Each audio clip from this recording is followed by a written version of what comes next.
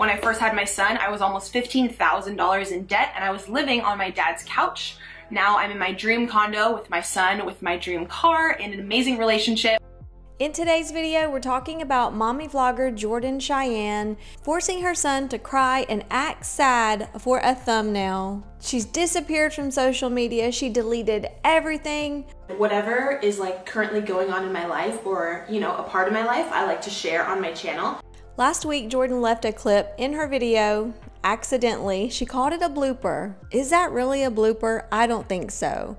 This clip has gone viral. If you want to see the clip and hear Jordan's first apology, because she's apologized several times now, I have an entire video that I posted last week and I will link it in the description box if you want to check that out next.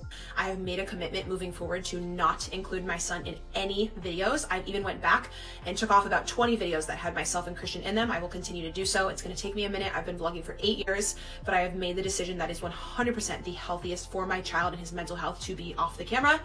Um, and I just want to let you guys know this as well. After eight years of vlogging, I am making the decision to take Christian completely off my channel. This is not, not because of the hate or the backlash I'm getting right now, which is absolutely fucking so much and terrible and death threats and things that I believe are so past the limit. I fucked up so fucking bad, you guys. I'm Jordan stated she's combing through her YouTube channel to delete all videos that have Christian, her son, in them.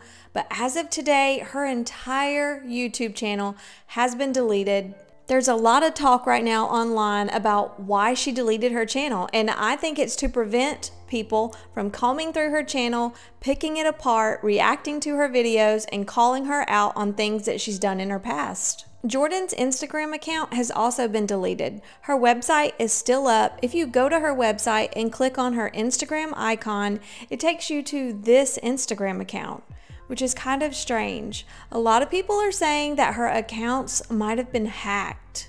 I had a huge talk with my family today, and they're like, We love you and we want you to be happy and mentally healthy, but we're fucking disappointed. And I started crying because I am so disappointed in myself as well. I can't even, I cannot even tell you. And this is not just due to the recent backlash or people posting me. I posted an apology here on YouTube three days ago before these viral people even started posting me. For those of you who didn't see it, that's why I want to post this. I've done this for eight years, but I am done posting my son. It will not happen again uh, for the foreseeable future on YouTube, I am done posting Christian. I'm going to do the best I can to move forward, and I want to let you guys know that. I think we're all happy to hear Jordan say that she will no longer be exploiting her son on social media. Why did it take the public having to call Jordan out on certain things before she realized how wrong this is? She admitted this was not the first time she had Christian pose for a thumbnail.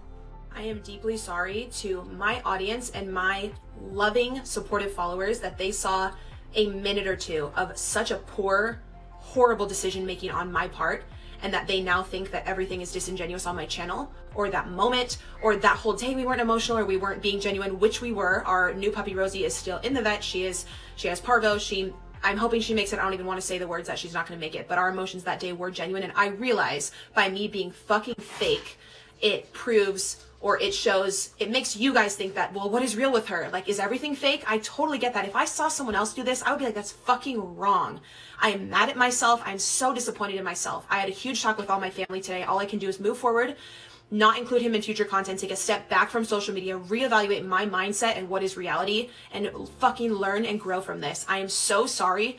I am sorry to my audience but really mostly to my child we're all concerned about Christian. We're worried for Christian because we all know that this was not the first time his mom pressured him to act for the camera for a YouTube video. This is a huge wake up call to all YouTube mommy vloggers, to all family channels, to anyone who exploits their child online. Stop doing this stuff to children. They do not deserve this. Jordan's clip allowed us to see behind the scenes what really goes on every day in the lives of children who are being exploited on social media. And it was sick to see Jordan choose being a YouTuber over the well being of her child. Her son was so upset, and instead of consoling him and turning off the camera and hugging him, she chose to get that thumbnail first. I am deeply upset with myself and I am so fucking disappointed in myself. I can't even tell you guys. I am resolving this on the back end with my child. He is fine, he is safe, he is healthy, he loves being in the videos, but I know that he is not old enough to consent to that. I've made the choice moving forward to keep him off. Everyone can hold me to that. Trust me, I'll be fucking holding myself to it for the time being. I will obviously be off YouTube for a little bit. I will be doing everything I can to prioritize Christian's mental health. Jordan just said she's taking a break from social media and she's now going to prioritize her son's mental health. While we all think that is great, her son Christian should have been priority number one all along. Criticism. I, what I am not open to is people putting out my personal private information, sending death threats. That type of stuff is never, never okay. I'm not standing for it. It is absolutely terrible. I will take all the criticism, excuse me, in the world, and I'm so incredibly aware that I fucked up here so bad. I have haven't been able to sleep, have had anxiety. I'm so disappointed in myself, and I am dealing with the situation personally and with my son, and he's completely fine. He he doesn't even know what like a thumbnail is. He we had to talk about it after, and he's completely fine. But I am absolutely horrified at myself, disappointed, disgusted, all the things that I'm sure you guys have already seen on the internet. This is I am just so in shock that I let myself get to that level. I'm disappointed. Literally, all I can do is learn and grow and make amazing decisions in the future for myself and the well being. And I don't want to fucking come on here crying or act like I want sympathy or anything. I don't want any of that. I'm so disappointed in myself. And I have never been this upset with myself or disappointed or had this much anxiety over people messaging me death threats and things about Christian that are so past the level of cyberbullying and harassment than I've ever experienced in my life. I know we don't agree with Jordan's actions, the way she exploits her child, the way she treated her child, but that's no reason to send her death threats. A lot of viewers think that she's going to go away from social media and come back and say, I had to leave because of all the death threats and the threatening messages I received.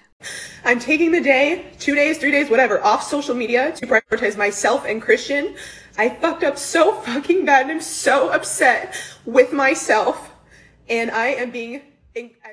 This is a comment from Twitter. I will never understand showing your child breaking down on the internet. You're supposed to protect them.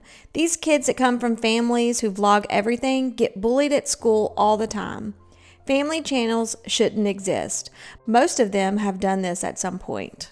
I agree with this comment. I think family channels and YouTube moms and dads who exploit their children every day on YouTube have definitely coached their kid in some way to pose for a thumbnail. We never get to see behind the scenes what really goes on, what parents really do to get that kid to pose for a thumbnail. Jordan led us into that world, and we now all know we have proof, we have seen what it takes sometimes to get a kid to pose for a thumbnail, to act sad, to cry. We've all seen it firsthand, and to be honest, that image will never leave my mind. I will never look at family vloggers, YouTube moms, YouTube dads, anyone who exploits their child on YouTube, I will never look at them the same. I don't want to paint everyone with the same brush. I'm not going to say every family vlogger, every YouTube mom, dad does this because I don't have proof. But it's very likely that this is done behind the scenes all the time. So now we're going to look at everybody and question them and wonder if they do the same things that Jordan Cheyenne did to her son to their kids. Now that I get you.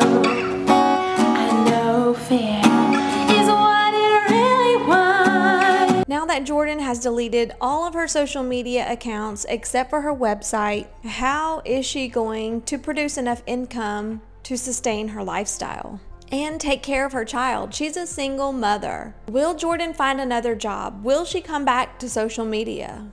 What does the future hold for Jordan? Not only Jordan, but what does the future hold for family vlogging? Will YouTube continue to allow the exploitation of children on their platform? Will they put up some guidelines? Will they make rules to protect children? How many more children do we have to see exploited this way, manipulated this way, coached this way, used? Also, their parents can continue to have a social media job, be popular online, have clout, and make a ton of money. Jordan said she is now going to prioritize her child's mental health. I think the mental health of all children on social media should start being prioritized and changes need to be made. Thank you so much for watching. I'll see you next time.